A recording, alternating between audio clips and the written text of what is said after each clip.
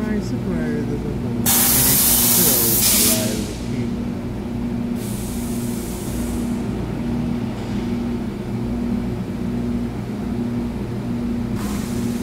Hey. Come on. I to catch it? about this mall for a few